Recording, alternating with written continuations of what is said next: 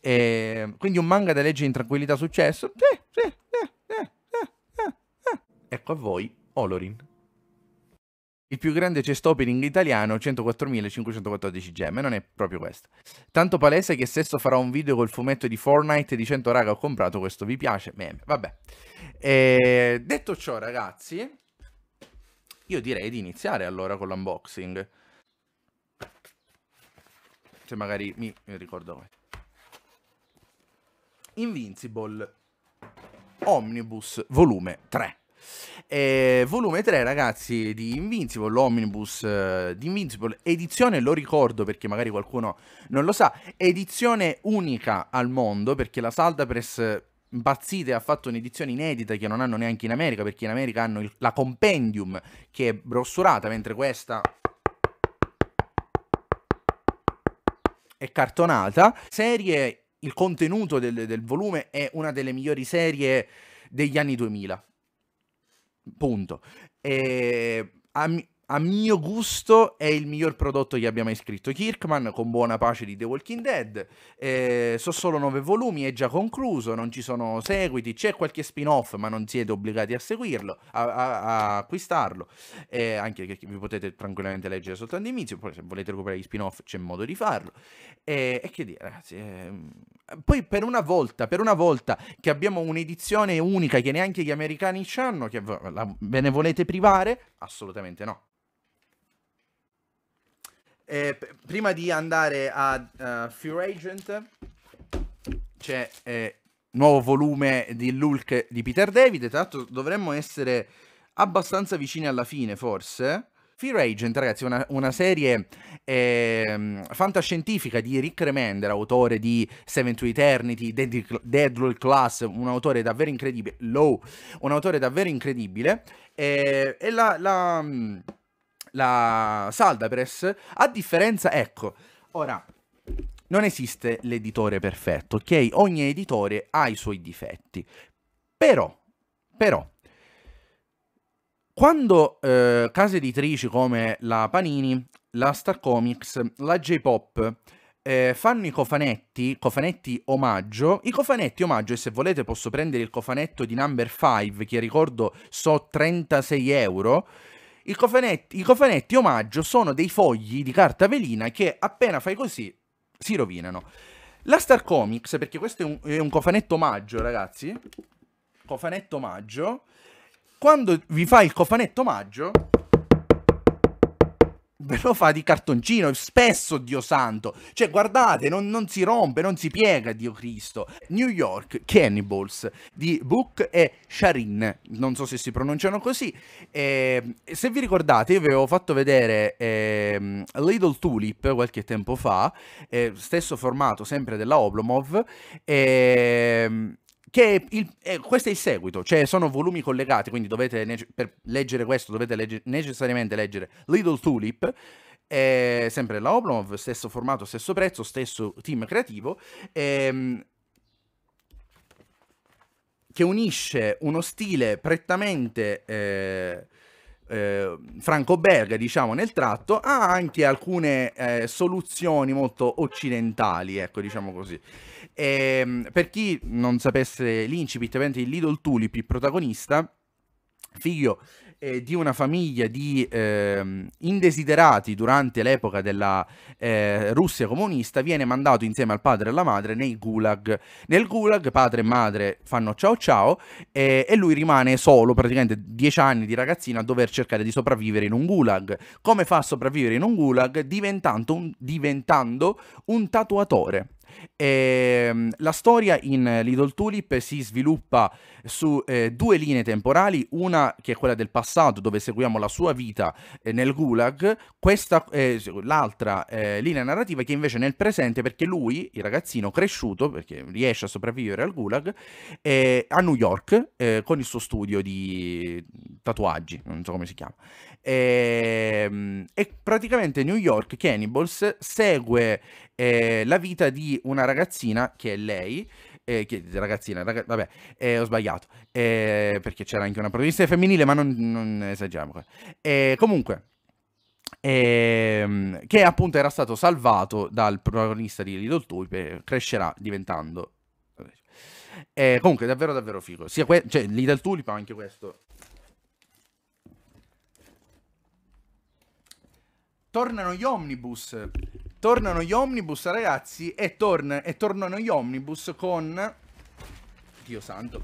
Con... Con il terzo omnibus di Batman di Grant Morrison. Ragazzi, la run di Batman di Grant Morrison è una delle migliori run di sempre su Batman. So tre omnibus. Non mi ricordo se finisce col terzo. Sì, dovrebbe finire col terzo perché c'è Inca anche. Sì, Finisce con questo, quindi sono solo, solo, per modo di dire, sono solo tre omnibus, perché praticamente eh, il primo omnibus costava 69 euro, il secondo omnibus 75 e questo terzo omnibus di nuovo 69. Enigma di Peter Milligan e Duncan Fegredo. Eh, allora, Peter Milligan è uno degli autori vertigo più forti di, di, sempre, oltre a lavorare per la Vertigo ha lavorato anche alla Marvel con i Statics e, e Duncan Fegredo è il disegnatore che Mignola ha voluto per chiudere eh, Hellboy, gli ultimi numeri di Hellboy, ehm, che ha uno stile anche lui fantastico. E questa qua, ragazzi, è appunto una, un'opera Vertigo opera autoconclusiva, cioè non fa parte di una serie, Enigma, eh, che vi consiglio, vi consiglio a tutti di leggere perché Peter Milligan ha uno stile che mh, va molto sullo psicologico ma anche sullo psichedelico, uno stile narrativo chiaramente, tant'è che lo stesso Milligan ha scritto una storia su eh, Legione, per esempio, il figlio di Charles Xavier, il mutante con il disturbo di personalità multipla. Ehm, c'era l'omnibus di Batman, ciao Wade, c'era l'omnibus di Batman che avete visto momenti, eh, pochi momenti fa, e, e c'è un altro omnibus. E ehm, questo è l'omnibus del Thor di Val- Walter Simonson. E, ehm, ne ho parlato diverse volte in live. I- i- questo omnibus, tra l'altro, esisteva in Italia, però in due omnibus divisi che hanno deciso appunto di accorpare in un unico omnibus. Ehm, ragazzi, eh, la, la, la, run di Walter Simonson su Thor è stata la prima vera run di Thor, anche più di quella di, di Lee e Kirby, perché è il primo che veramente dà un, uno, uno scheletro, una struttura, un world building al personaggio e alla sua chiaramente testata. C'ho voglia. Comunque dietro gli omnibus dietro gli omnibus vi fanno vedere tutte le copertine dei volumi che sono contenuti all'interno del suddetto omnibus. Tanto ho visto a Comics. E toglie le cuffie, bomber, alza volume al massimo e via, sicuramente. E... Andiamo avanti. Primo fumettino cinese, il numero 4 di Planet of the Fools di Hiroki Endo. Col numero 15... Col numero... Già al 15 siamo. Col numero... Ma com'è possibile? Col numero 15 di eh, Tokyo Revengers. Tokyo Revengers anche qui ne ho parlato tante volte, un manga divertente ma nulla più, non è un capolavoro, non ridefinisce il genere. L'unico downside in questo caso è che dura, mm, sta durando un pochino troppo, perché per ora siamo al 15, ma in Giappone sono al 27 mi pare. E quindi un manga da leggere in tranquillità successo? Sì, sì, eh, Andiamo invece a uno dei fumetti che più ho apprezzato dell'anno scorso, che è ancora in corso, ovvero Frieren, oltre la fine del viaggio, numero 5, ehm, che è un, mm, un grande eh, JRPG, però con un, un, incipit diverso, perché eh, il viaggio dei, del gruppo del party di eroi eh, finisce quando inizia il manga. Poi il manga segue la vita di Frieren, che è un elfo immortale, che è lei, eh, che si ritrova ad essere da sola e si, dova, si trova a fare eh, diciamo, i conti anche con questa solitudine.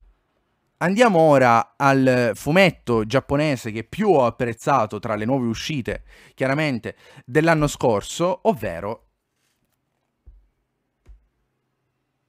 quella meraviglia che è Colon, Gen- Gen- Generic Romance. Eh, Colon che eh, inizia eh, con, ehm, come se fosse una, una, normale romance e andava anche bene in quel modo perché comunque era fatta benissimo, eh, però butta dentro anche qui un po' di fantascienza perché si inizia a parlare di identità, si inizia a parlare di eh, clonazione, da qui poi nasce il discorso sull'identità ehm, e poi il tutto accompagnato da... Aspettate, cioè... Eh che meraviglia, guarda che meraviglia. Poi... poi Kajiwa, Kaji... Kujirai è una delle signorine 2D più belle di sempre, cioè veramente non, non, non le si può dire nulla. Però, come sapete, ogni volta che c'è un volume di Kengan Ashura si toglie la sovraccoperta perché c'è questo sotto la sovraccoperta. Importante, eh, ragazzi, importante. Dietro, no, dietro è tranquillo. Dietro è tranquillo. Eh, ma lo fa Kengan Ashura, eh, lo fa. C'è anche di peggio in altri volumi, eh. E comunque Kengan Ashura, ragazzi, fumetto di fumetto di mazzate, ma mazzate di quelle violentissime, e, e va bene così. Guarda, c'è un culo maschile, tra l'altro. E, è un, ripeto, fumetto di mazzate, divertentissimo, è un grandissimo torneo, e quindi è un battle shonen che effettivamente è soltanto battle, non, non c'è altro, perché è tutto un grande torneo, il Kengan appunto, e, e niente, si ammazzano di botte, se vi interessano, se vi divertono le mazzate secondo me, non è ambientato a Napoli una romcom, così per spezzare un po' le letture, Kaguya-sama, Love is War, numero 13. Questo, eh, anche questo soffre dello stesso problema di eh, Tokyo Revengers, che sono 2000 volumi. So, mi pare arrivati anche qua al 25-24, cioè, davvero troppo. Per me le romcom dovrebbero durare una decina di volumi e basta. Eh, e poi il penultimo il penultimo volume di City Hunter XYZ. Questa è la nuova. Certo, anche delle cosce, ci sono delle gambe, ci sono nella costina, perché la costina forma tutta un'immagine. E, um, City Hunter XYZ, ragazzi, è la nuova edizione di City Hunter, eh, perché quella vecchia non si trovava. Comunque hanno fatto questa nuova edizione 3 in 1.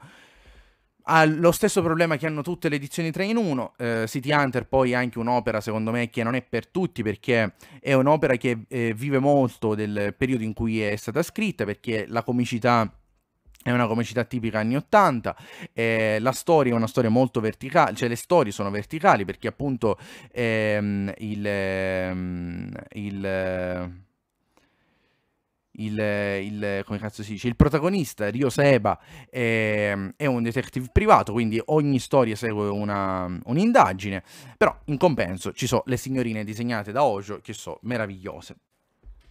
Car Captor Sakura numero 4, la Collector's Edition, davvero bellina questa Collector's Edition, ragazzi, poi Card Captor Sakura è uno shoujo, è uno dei miei shoujo preferiti, Marshall numero 5, uno dei fumetti più ignoranti. Non leggevo un fumetto ignorante come Marshall dai tempi di Torico. Torico, Torico, quello che cazzo è. E praticamente è um, un, um, ambientato in una scuola di magia, quindi alla Harry Potter, dove tutti sono maghi, tranne il protagonista, che non sa usare la magia, però è fortissimo. Cioè, è veramente. È tipo Saitama. È, um, fisicamente è fortissimo. Shai numero 4. Shai numero 4, oltre ad avere dei bei disegni, molto bellini, molto bellini i disegni disegni di Shai. Poi mi piace che ha i, questi bordoni e soprattutto questi neri molto molto marcati eh, nel, nelle linee. E, um, è un fumetto che inizialmente sembra una storia alla My Hero Academia perché parla di eh, supereroi, anche se il, il, pool di protagonisti è molto molto molto molto più ristretto. E, um, però in realtà poi è uno slice of life che parla di tutt'altri argomenti. Diciamo che quello è soltanto flavor, la parte dei superpoteri, e il resto è soltanto flavor. E, um, per il resto rimane un, uno slice of life molto molto interessante da seguire. Blue Lock, Blue Lock numero 10. Esatto, cioè, pensate quanto tempo è passato da Blue Lock. Eh, dicevo, Blue Lock ragazzi è uno Spokon eh, è uno Spokon, ragazzi, esagerato, però eh, divertente, divertente perché ha un pace fantastico, non, non ci sono momenti morti, eh, disegnato benissimo, secondo me è disegnato davvero davvero bene, e, ehm, e niente ragazzi, se, anche qui è un, un, manga da leggere per ehm, divertirsi, per spezzare le letture, perché magari avete voglia di un manga sportivo, vi siete letti già un po' di roba, se non avete mai letto questo, quindi al terzultimo volume eh, di Demon Slayer, Demon Slayer numero 19, sta finendo Demon Slayer, il manga ragazzi non è a livello dell'anime, l'anime è molto molto più figo da leggere, eh, da leggere, da guardare, eh, perché eh, il, la storia, allora partiamo dal presupposto che la storia ragazzi è una storia come tante, ok? Quindi già di base questo non incentiva l'acquisto, però eh, l'anime è animato alla perfezione, quindi anche gli scontri che potrebbero essere nel fumetto, scontri abbastanza banali, scontri che magari non hanno tanto pathos, eh, nell'anime invece lo, lo, lo, hanno. E quindi l'anime eh, vale, vale tantissimo anche perché nel manga, ovviamente considerate già questo è uno degli ultimi volumi, quindi il tratto è molto migliorato, eh, però nei primi volumi eh, ma anche tuttora, eh, molte volte le tavole sono parecchio caotiche, parecchio difficili da... Um, no? Eh, visionare. Non tormentarmi, Nagatoro, anche qui una romcom slice of life, eh, anche qui divertente, nulla di più, ottimo per eh, spezzare le letture, leggero, senza pretese, poi se voi ricercate Anna Karenina o Karenina, quello è un problema vostro, non del fumetto. È il numero 2 di Kenshin Samurai Vagabondo o se siete Weeb Ruro Uni Kenshin.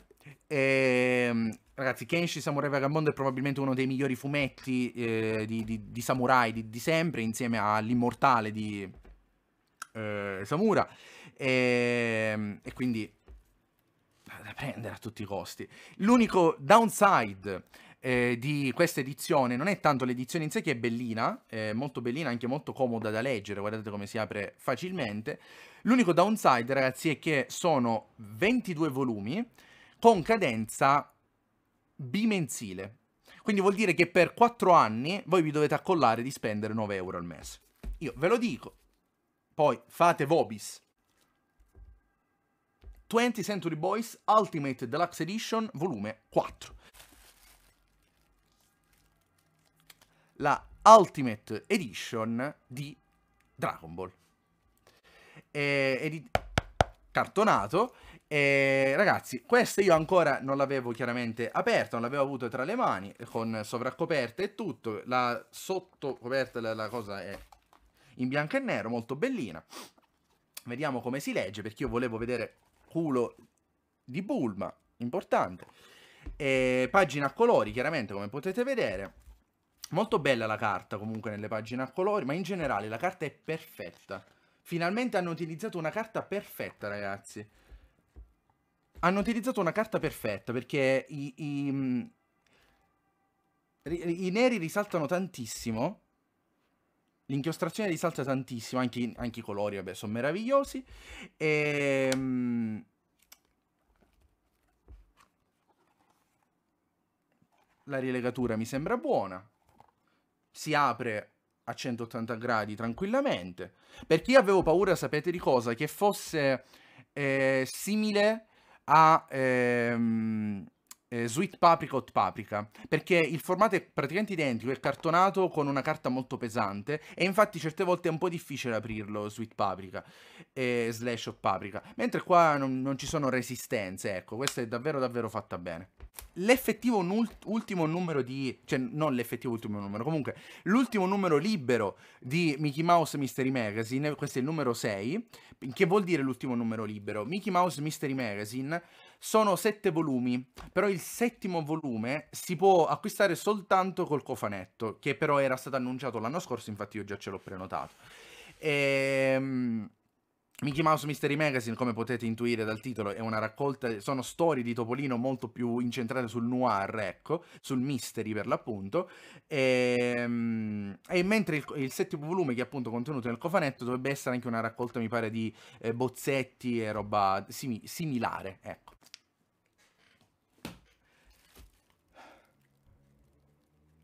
Ciao, sono Lucia, sono una sirena, può sembrare strano ma è una storia vera, la leggenda narra che nel 1981 Beppe Grillo va, va bene, eh, ok.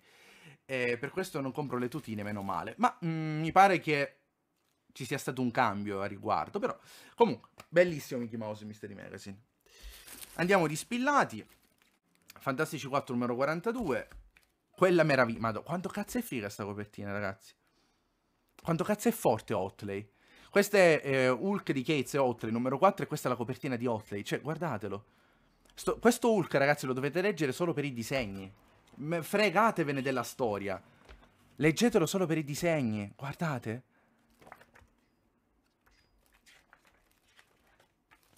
Guarda che meraviglia. Fuori di testa, fuori di testa, Otley, fuori di testa. E, e poi Flash numero 24. Bat Robin e Batman, la rinascita del dinamico duo dei signori Lemire e Nguyen, che è lo stesso team creativo di Descender eh, della Bao, pubblicato dalla Bao, e, e chiaramente ragazzi sto, sto, volume merita soltanto, cioè non soltanto, ma merita anche solo per gli acquerelli di Dustin Nguyen, che sono meravigliosi, meravigliosi ragazzi. Tutto in acquerelli, tutto in acquerelli. Guarda che meraviglia.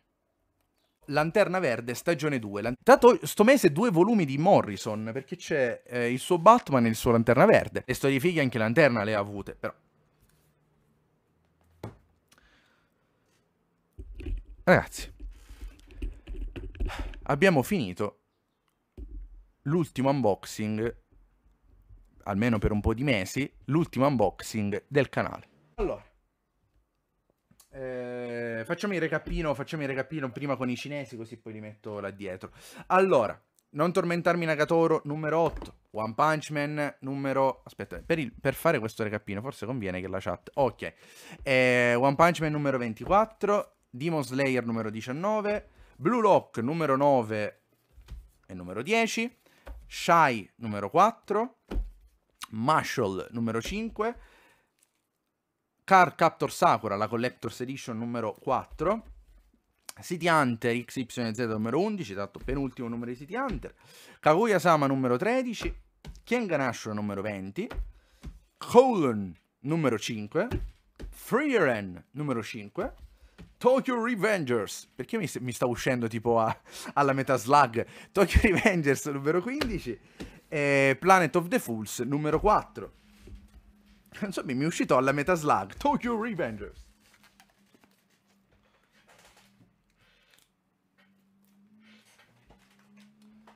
Poi, eh, Dragon Ball Ultimate Edition numero 1. 20, sono d'accordo comunque Ivano. Eh, 20 Century Boys, la Ultimate Deluxe Edition numero 4. E Kenshin Samurai Vagabondo, sempre Perfect Edition, numero 2. Poi New York Cannibals di impossibile pronunciare quei due nomi. Cofanetto di Free Agent con i numeri 1 e 2 su 4 che ancora devono uscire. Hulk di Peter David, il, penso il penultimo volume vedendo quello che è contenuto. Invincible Omnibus numero 3. Poi Spillati, Fantastici 4, 20, 42, Flash 24 e Hulk 4. Topolino Mystery Magazine numero 6. Ah, Omnibus di Tori di Walter Simonson, numero, senza numero però. Eh? Enigma. Come mai imbustato Hulk? No, non lo so, me l'hanno dato con la bustina. E Enigma di Peter Milligan e eh, Duncan Fegredo. Batman di Morrison 3, terzo e ultimo omnibus. Lanterna Verde, sempre di Morrison, stagione 2 e sempre ultimo volume. E Batman, Robin e Batman di Lemire e Dustin Nguyen. Però devi mettere un sottofondo musicale. Avete visto? Holorin 23.